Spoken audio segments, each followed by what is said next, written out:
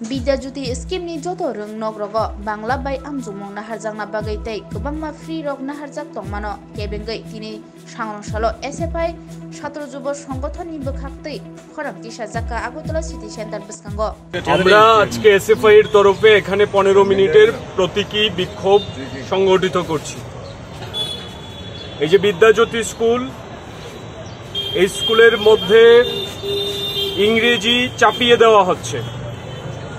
বাংলা মাধ্যমের স্কুল হিসেবে যারা ভর্তি হয়েছিল, তাদেরকে ভবিষ্যতে ইংরেজিতে পরীক্ষা দিতে হবে।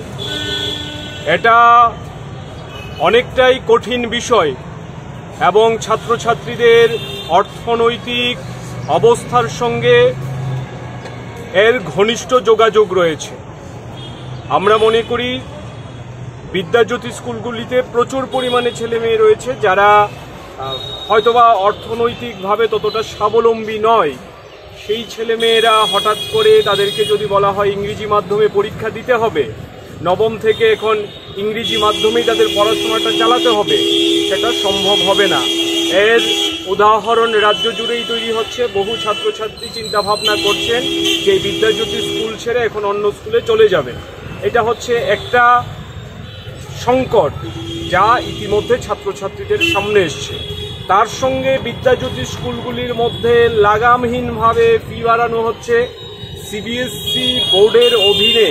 যে পরীক্ষাগুলি হয় মাধ্যমিক, উচ্চ মাধ্যমিক, তার ফি উচ্চ হারে ধার্য করা হয়।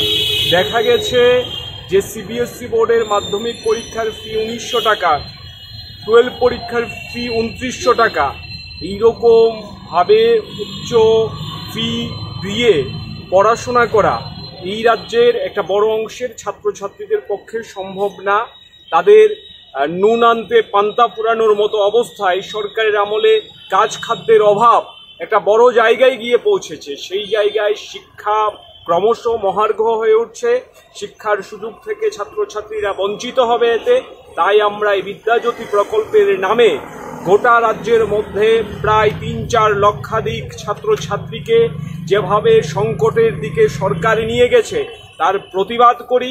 আমরা দাবি করছি যে শিক্ষা ক্ষেত্রে সরকারি উদ্যোগ থাকা চাই। সরকার যেভাবে চেষ্টা করছে, তাদের সমস্ত দায়িত্ব ঝেড়ে ফেলার, তার আমরা প্রতিবাদ করি।